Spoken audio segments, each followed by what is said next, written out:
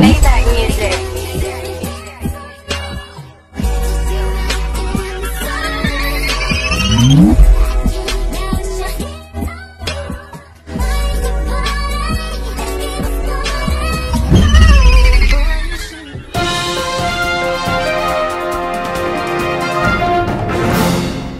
What's good to all my mother effing cousins? Period. What's good to tell my mother effing cousins? Let's get into this video. You read the title. You know what's going down today. I become a doctor today. A scientist, a therapist. Somebody who you come to for advice. The best advice that nobody else will give you. They'll give you some fake advice and I'll give you the real. So if you ever need to come to me about some real advice, please do. And I'm going to tell you just how it is. And that's just that on that. So let's get into this video, which is crazy advice. At first I was going to do deep advice, blah, blah. But most of y'all was sitting in the same regular boring questions like, how do I get over a boy who doesn't like me? How do you get somebody's attention? Y'all was talking about y'all 15, 15 and pregnant. Girl, that ain't got nothing to do with me. That's up to your parents. So now we changed it up. In the advice video we doing today is crazy, funny advice. Like advice you wouldn't want to personally ask somebody. Cause I know uh, there's some situations I've been in where I wouldn't want to ask anybody for advice about that. So that's what y'all doing with me. And I'm here to help and save and make the world a better place. So like this video for me for doing this for the community, generation, and the race. Okay? Alright, so we about to get into it. By the way, make sure you watch all my other videos too. They all juicy for you. Juicy for you. Let's see what the first person asks. Some of y'all asking some really stupid stuff. we gonna start it off calm. The calmest, simplest ones that I got. And then we gonna go to the, the crazy ones. So, let's get into it. Alright, so first one that somebody said is how to get over a beep in the same school as you. This is the hardest thing I had to deal with because I have to see this beep every day. Beep is sickening. It's sickening. And by the way, I'm saying beep, beep, beep because Sarah doesn't curse. Only through text messages. So if you want to get cursed out, text it to me. But I'm only answering this one because I've been in this situation before in high school. When I was in high school, I was in this situation.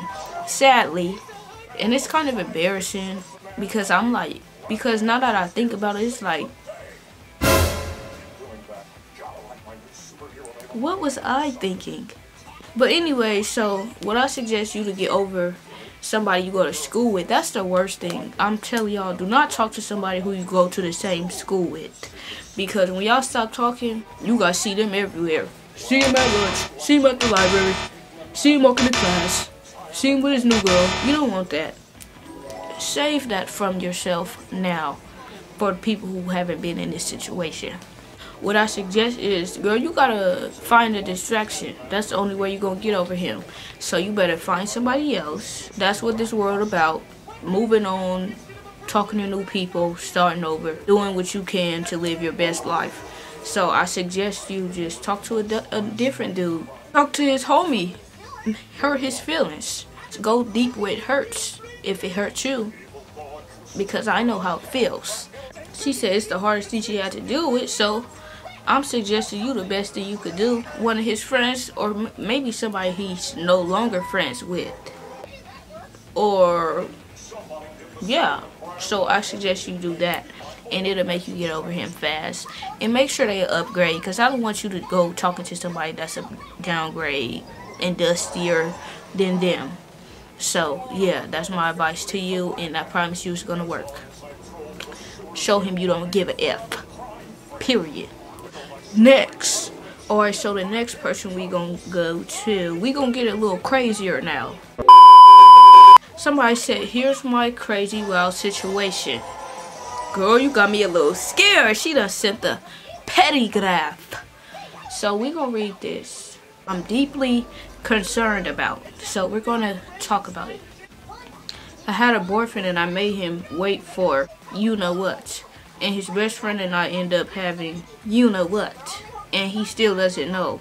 This was months ago, but talks have been surfacing. So should I tell him before he hears it on the street or not? First of all, let me look at her page. She's too cute to be doing all this. She is actually cute. 17 years old. Girl, first thing I suggest you do is go to the clinic parent parent planned hood and get checked. That's what I suggest you do right now. First off, I'm not here to judge you. I'm just here to give you some advice. Go to the clinic, make sure you're good. First off, because people be dirty nowadays, especially dudes. So that's the first thing. If it's if you saying that talks starting to surface about the situation and you got a boyfriend, hold on, hold on, hold on. So you let his best friend before him.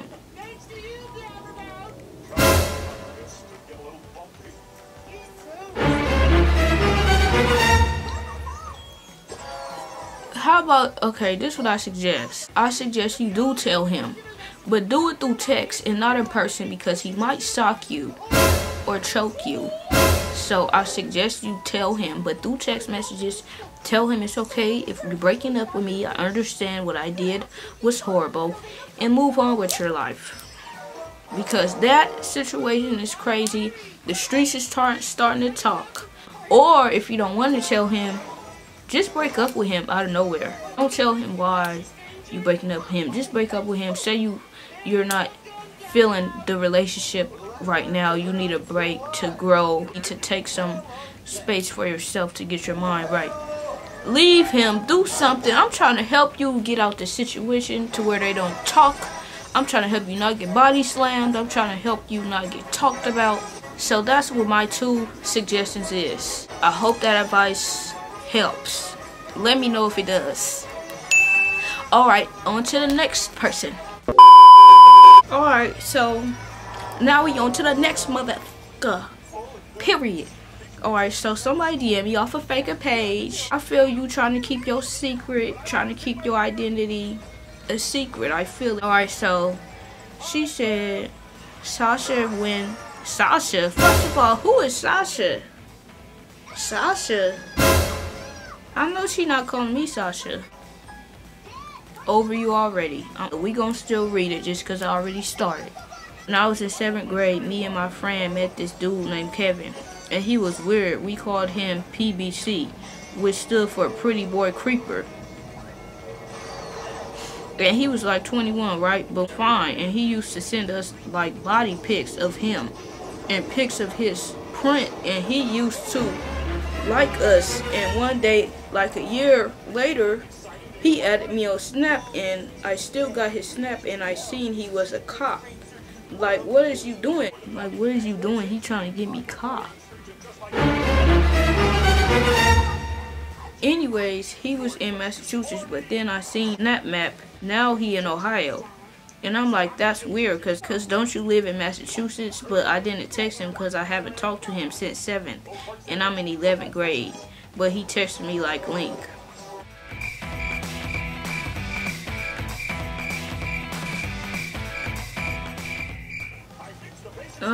Um...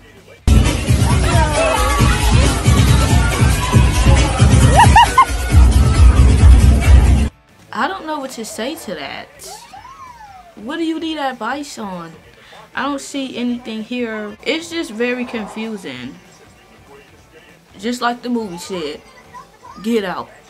That's all I suggest. That's all I'm going to say. Other than that, we're going to skip to the next person because that's out. Hey, here go a long one. This girl sent her whole life story. So I work with this guy at my job. I'm 20, he's 26. We started off as real good friends. We started off as close friends. Let me stop playing it. We started off as real good friends, and I noticed he was crushing on me, but I ignored it because that was my friend. Then one day he came with a new haircut, and I see him as fine. So I crushed on him back, but I know how to control my emotions, so I never said anything. When me and him goes down, out returns together, he took me home a couple times, and we smoked. But this one time we confessed how we felt for each other. But the catch is that he had a girlfriend that he was with for 13 years.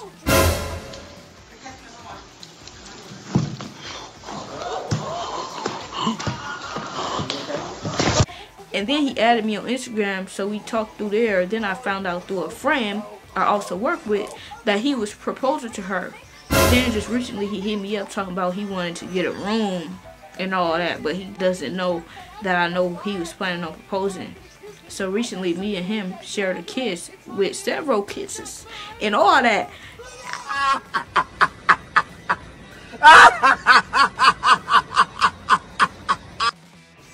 Let me stop. Also, I just found out he proposed to his girlfriend. I asked him to be petty because he didn't think. I knew told me that what it didn't go as planned. So he lied to me because she said yes. Like, honestly, a guy friend told me if he really wanted to marry the girl, he would have cut all ties with you. But he didn't. He would block me, then block me on Instagram. Then me and him had a big argument because he did some stupid at work. And I told him I was going to start being up to him and not talking to him. And so I guess he blocked me, but a week later unblocked me to tell me he's sorry and how he can make it up to me like I'm messing with a married man. It's wrong, but it's something there, and I don't know what to do because I see him all the time. Also, before he even proposed to his girlfriend, she found out that he talked to me, and our conversation was X-rated when she read it, and it threatened his relationship. But he still came back, so I don't know what to do because I'm going to see him all the time sometimes. I think they've been together for 13 years. Maybe he got bored and wants something new. Hmm. Hmm. Girl.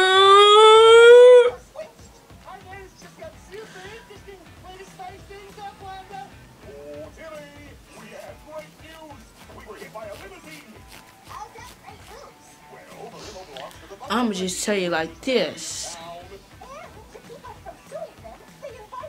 You gotta get out that situation ASAP. ASAP. That's not okay. He is not okay. And I don't know how you're okay with that. Like, he's married. He's lying. He's blocking you. Why are you still dealing with him? But yes you do like leave him alone girl. He has a wife. Clearly he's a liar. Clearly he's a weirdo. He blocks you. He does weird stuff. You had to go off on him. That just sounds like toxicity. Toxicity.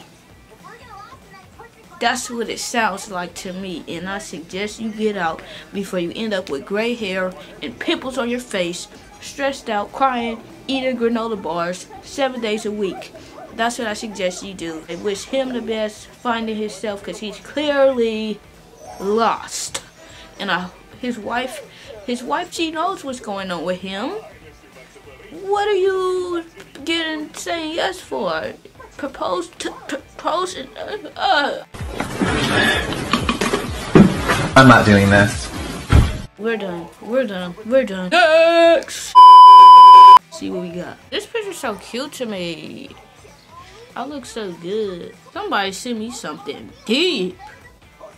Deep. Oh no. Let's see what we get into right here. Let's see what we get into right here. Okay, so my mom was seeing this guy. He started getting mad, controlling, wouldn't let her go to work, expected her to cook for him every night.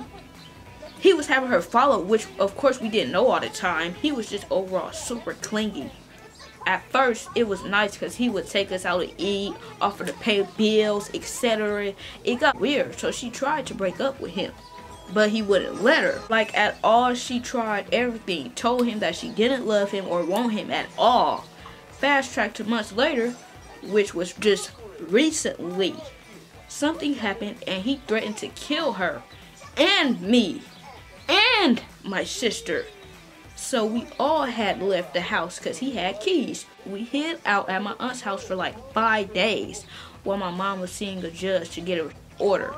Turns out, turns out the man had a record of murder, kidnapping, assault, etc. And we didn't even know his real name. Bro, so we ended up getting the restraining order, but he was still texting slash calling my mother effing mom. She said, bro, I forgot a part. So when my mom first got the restraining order, they went to the house to him and he locked himself in. There was two unmarked police cars and he walked out the back door and he jumped the fence. So the restraining order didn't even work because they have to give it to the person in their hands. He left his car, so I told the police he would probably come back, which he did, but they didn't want to stay. So he took the rental car, parked it a few blocks away, keyed their entire car, leather seats and everything, broke the wiper things, etc., and stole a bunch of S out the house. Mind you, this man is 40 years old. No ma'am. No ma'am. No ma'am. 40 years old. Hold on, I gotta reply back to her. I am shook.